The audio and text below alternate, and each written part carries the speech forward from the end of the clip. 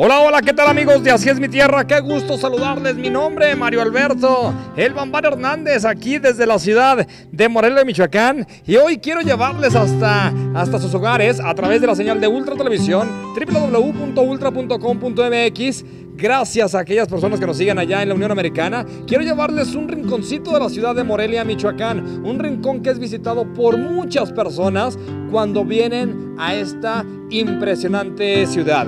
Bueno, me encuentro nada más y nada menos que en el famoso Callejón del Romance. La ciudad de Morelia también tiene un callejón muy similar a, las leyendas que se pueden generar allá en, el estado de Guanajuato. Pues bien, aquí en el Callejón del Romance, pásale carnal, pásale carnal, no, no pasa nada, saludos, ahí está, ellos viven aquí. Ahorita te voy a platicar todo lo que se desenvuelve en este, en este Callejón del Romance. Hay muchas viviendas, son 19 en total, pero en la historia antigua eran 19, ahora ya son algunos algunos departamentos, algunas viviendas independientes. Bien, yo me voy a sentar un poquito aquí porque eh, está, está padrísimo admirar, admirar la cantera. Más adelante hay algunas fuentes. Eh, la historia que envuelve este callejón es bastante, bastante interesante. Le platico que este callejón data del siglo, del siglo número 19, ¿sí? Y pues Aquí se, se, se llevaban muchas, pero muchas actividades.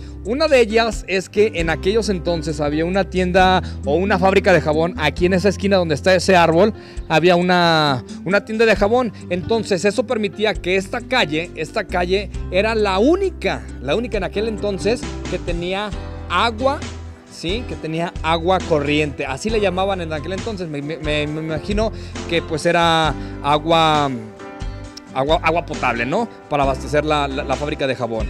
Antes, antes este callejón era llamado el callejón de la bolsa, ¿sí? Después, tiempo más adelante, fue llamado el callejón de, eh, del socialismo, callejón del socialismo. Y ahora, gracias a un, a un este, poeta, a un artista, a un literario michoacano, pues bueno, ha cambiado el nombre de Callejón del, del Romance. Se podían encontrar viviendas de aquellos entonces 19 que están consideradas como parte del patrimonio histórico de la ciudad.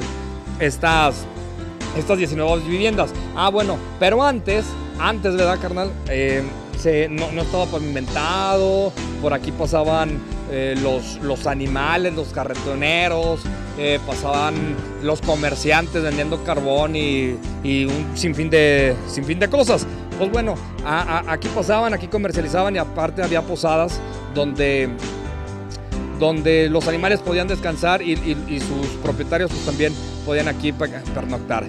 Así que así fue, fue evolucionando el callejón, el callejón del romance, el callejón de la bolsa, el callejón del socialismo, hasta lo que es hoy en día. Un callejón integrado por, por cantera, ¿sí? Por mucha, por, por cantera, por unas fuentes que ya vamos poco a poco, poco a poco llegando. Y los muchachos, los muchachos, los jóvenes, eh, pues aquí vienen a, hacer, hacer uso del callejón como, pues como es, ¿no? El callejón del, el callejón del romance.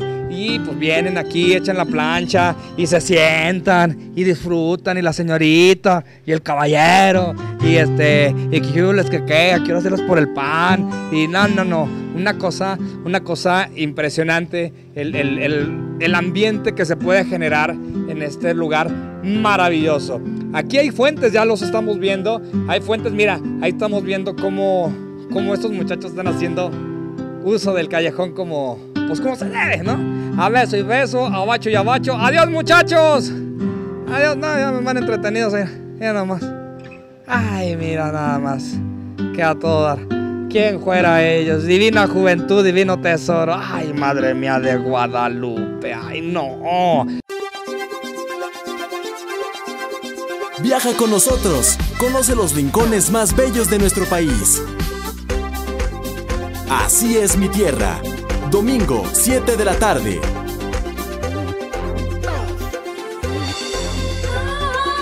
Esto es Ultra Televisión.